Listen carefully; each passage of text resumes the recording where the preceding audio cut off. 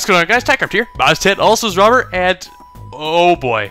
I've been in the caves way too long. I really gotta get back home before that moon comes out. Shouldn't...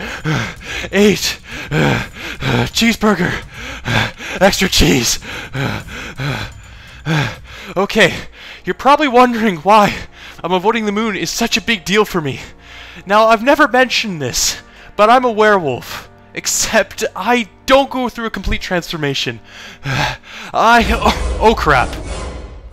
Grow this tail. Just please don't ask why.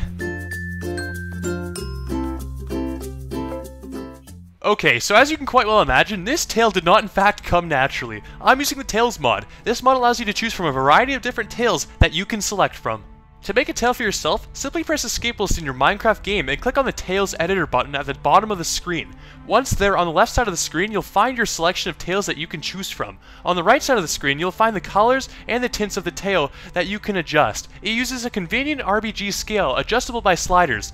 On the bottom of the screen, you'll find the rotation slider, which can be used to change the position of your character to give you a better angle to view your tail. Once you have finished the editing and adjusting your tail, you can click Done, and this will take you back into the game. On top of that, there's a button labeled Export, which allows you to be able to use your tail in servers and outside your single player world by following the on-screen instructions. This mod is now without a doubt my favorite mod. I really enjoy how complete and rounded off it feels. The lack of any bugs makes this mod truly stand out. Furthermore, there's still a lot of potential for the Tails mod, such as new, clever and creative tails, as well as supplementary animation functionalities. Okay, I believe we're at the tail end of the Tails mod showcase. If you enjoyed this video, then let me know by leaving a like and letting me know in the comment section down below. Also, don't forget to subscribe to our channel for more mod showcases and a variety of other exciting Minecraft content. Anyways, I think that's about it, so see you all later, everyone.